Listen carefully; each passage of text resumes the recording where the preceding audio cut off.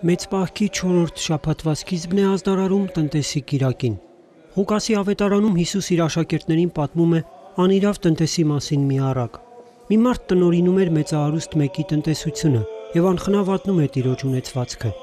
Այդ իմանալով մեծահարուստը կանչում է նրան եւ սպառնում վտարել։ Այդժամ խորագետ տնտեսը կանչում է տիրոջ պարտապաններին եւ նվազեցնում նրանց պարտքերը։ Նա շահում է պարտապանների բարյացակամությունը որպեսի երբ ազատվի աշխատանքից, կարողանա դիմել նրանց օգնությանը։ Սակայն Տերը, իմանալով տնտեսի հնարամտության մասին, գովում է նրան եւ ներում։ Այս առակը պատմելով Հիսուս հավելում է. Այս աշխարհի worth-իները ավելի հնարամիտ են, քան լույսի worth-իները իրենց սերնդի մեջ։ Հիսուս ցանկանում է ասել. Եթե աշխարհի worth-իներն ի գործ են դնում իրենց տրամադրության ներքո գտնվող բոլոր միջոցները, գործածում են իրենց ամբողջ խելքը երկրավոր կյանքն ապահովելու համար,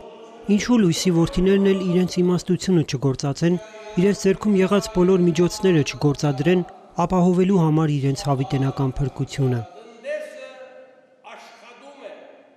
Մարտաճարում օրվա առակը մեկնաբանում էր Տեր Ոսկան arczepiskopos Գալփակյանը։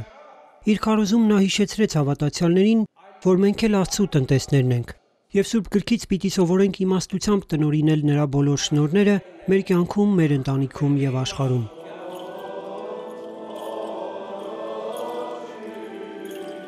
Սուրբ Պատարագի ավարտին Վեհափար Հայրապետի հանդիսապետությամբ կատարվեց նաև հոգեհանգստյան կարգ։ Մայրաթոր Սուրբ Էջմիածնի երիցագույն միաբաններից Ուկրաինայի հայոց թեմի առաջնորդ Տեր Գրիգորի arczepiskopos Բունյաթյանի հոգու խաղաղության համար։ Սրբազան հայրը հանկարծամահ էր եղել մարտի 7-ին Խարկով կատարած այցի ժամանակ։